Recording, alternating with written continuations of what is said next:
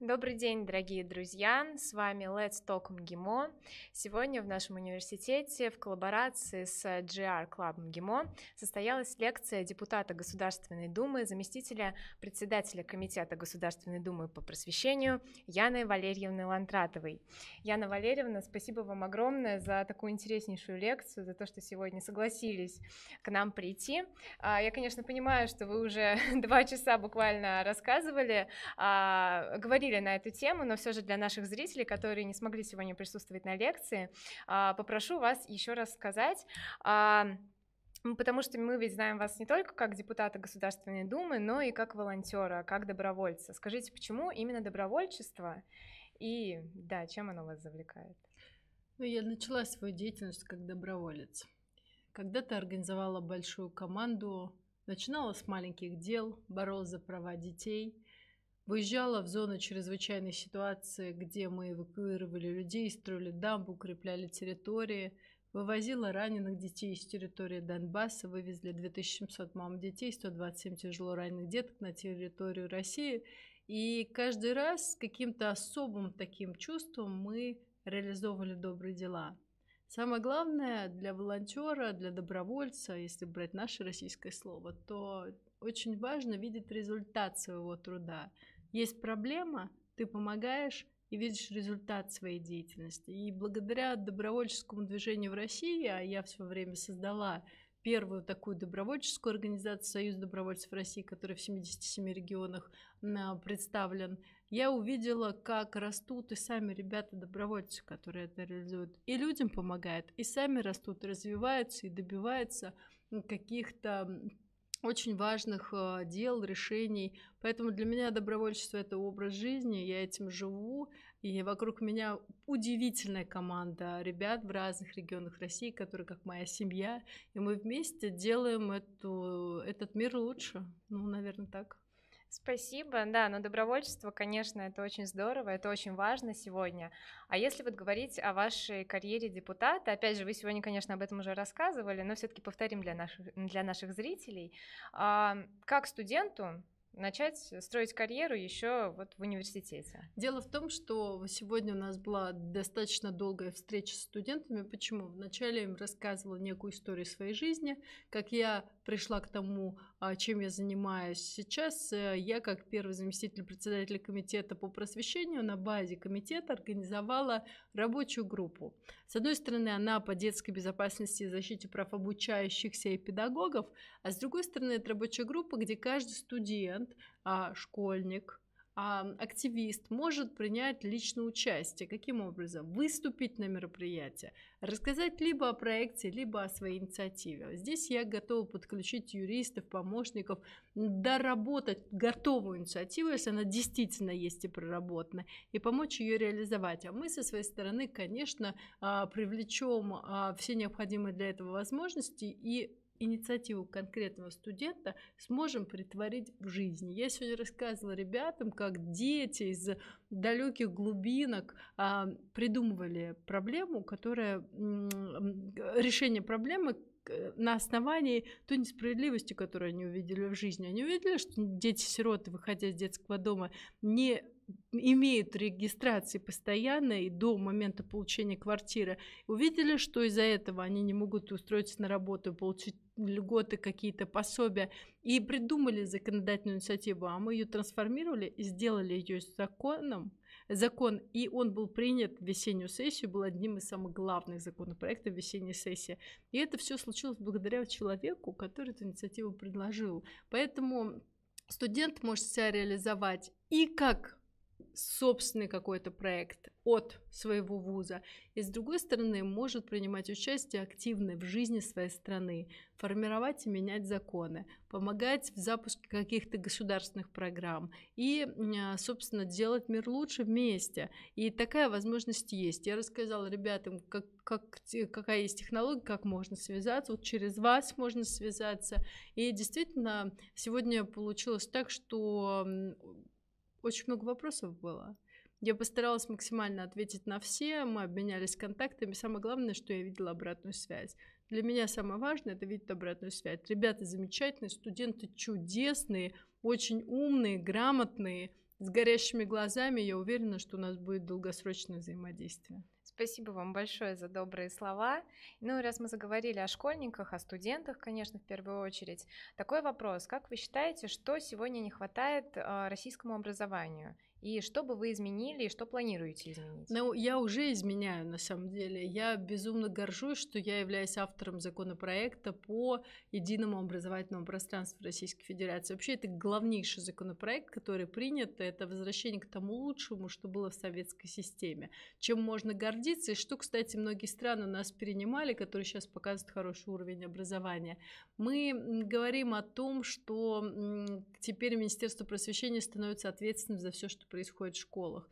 Мы часто говорили об ошибках, которые есть в учебнике, неточность, перевирание информации, все, что есть, к сожалению, а в учебниках. И когда мы анализировали это, мы выясняли, что, оказывается, раньше любой человек мог стать автором учебника, даже если он не педагог, даже если он не имеет отношения к педагогической деятельности. Главное, чтобы в ГОСМ он соответствовал, и все, а другого права отказать ему никто не мог. Министерство просвещения. Сейчас мы тоже эту историю меняем. И это очень важно. То есть теперь за качество учебников, за содержание учебников, за все, что происходит, становится ответственным Министерство просвещения. Теперь появляются обязательные предметы. Школа теперь может сделать лучше, но обязательную базу а, а, обязаны дать. Мы принимаем законы о разбюрократизации вот той системы, которой работают учителя. Мы сейчас принимаем закон о передаче школ с, с муниципальными муниципального на региональный уровень, даем такое право и возможность субъектам. Мы будем возвращать трудовое воспитание в школы. И мы добились принятия того, чтобы курсы начальной военной подготовки вернулись в школу в рамках предмета ОБЖ и так далее, и так далее, и тому подобное.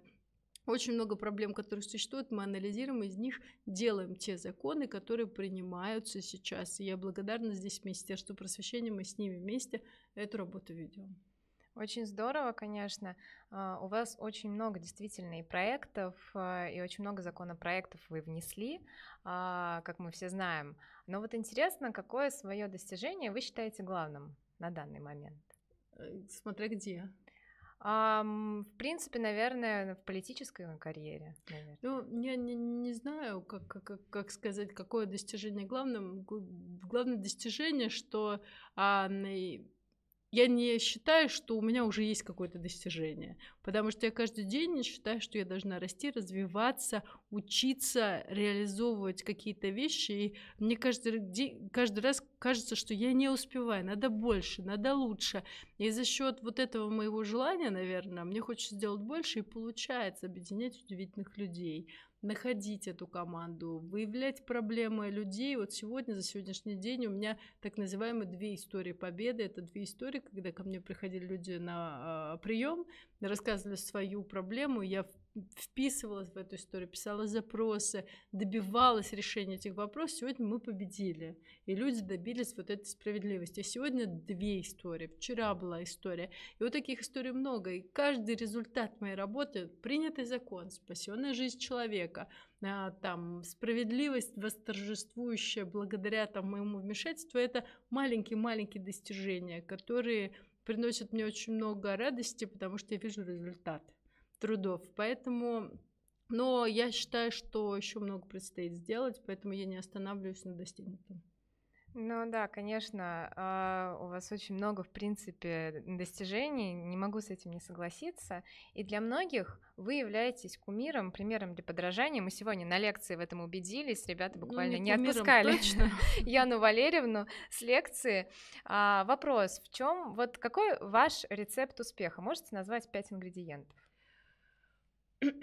Я сегодня очень много говорила о вопросе ответственности. Умение, умение брать на себя ответственность. Это очень большая редкость. Люди обычно ам, ждут, когда кто-то сделает за них, умение брать ответственность. И для меня это очень важно. А, на самом деле м, такое требовательность по отношению к себе. Требовательность, потому что ам, это необходимость э, Пусть всегда в душе остается любовь к людям. Вот что бы ни произошло, вот часто мне говорят, вот мы помогали людям, мы разочаровывались, ну как же, не надо ничего ждать.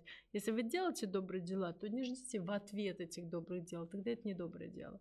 Поэтому умение эм, любить людей, ну как, как желание все время развиваться и учиться, и на самом деле вера в свои силы тоже это очень важно. Поэтому, мне кажется, много качеств, и трудолюбие в том числе, много качеств, которые есть, которые нужны, которые нужно в себе развивать, но главное не останавливаться. Угу, спасибо большое. Думаю, этот рецепт точно пригодится нашим зрителям. А, и вот еще такой вопрос. А, мы, конечно, знаем вас как а, общественного деятеля, правозащитника, но хотелось бы еще узнать вас с другой стороны. Все мы знаем, что вы также прекрасная мама. можете... Я себя как маму ругаю, потому что мне сын вчера сказал, говорит, мама, ну когда же ты перестанешь летать? Я говорю, давай летать вместе. Да, но у меня замечательный сын, а, я его очень люблю, ему 10 лет. А, у меня есть большое желание, чтобы я могла с ним проводить больше времени. Но я думаю, что он будет скоро мне помогать в моих делах, в командировках, и это будет здорово, если мы вместе будем это реализовывать. Вообще он замечательный мальчик, учится, а, старается. И, конечно, самое важное, что есть, это, это сын, э, это семья, это мои родители. Поэтому да, ну вы, в принципе, ответили на мой вопрос о том, какая вы мама. Я так понимаю, наверное, строгая или не очень? Нет, я не строгая мама. Нет, я, конечно, могу поругаться, но я не очень строгая мама. Угу. Другой вопрос, что ребенок видит, эм, как мне няня говорит всегда, что ребенок видит планку, которую вы себе ставите, и говорит, трудно дайте ему возможность э, реализовывать себя, и на самом деле просто надо любить ребенка. Я безумно его люблю. Вот, ну как, это же самый главный человек в моей жизни, поэтому. Да, это правда. Ну и раз мы затронули тему детства, а, думаю, стоит задать такой вопрос. Все мы в детстве мечтаем, и вы, наверное, тоже мечтали. Можете ли вы сказать, что сейчас, на данном этапе, вы воплотили свою мечту детства в жизнь? Или все еще впереди? Я воплощаю. Я думаю, все еще впереди. Я очень, очень много о чем мечтала, поэтому, мне кажется, я каждый раз воплощаю, но мне хотелось, чтобы я могла что-то хорошее нужно сделать в этой жизни. И вот мне кажется, вот эту часть мечты я, наверное, воплощаю, потому что я очень рада, что мне удается кому-то помочь. Но самое главное, что мне очень важно, что, наверное, вот из таких вещей для меня важных, что уже в этой Думе, несмотря на то, что депутат только один год, уже сформирована потрясающая команда молодежи, с которой я работаю. Это раз. И второе, уже приняты некоторые законы, которые позволяют мне сказать одно, что уже я не зря этот год находилась в Государственной Думе. И это дает мне много сил.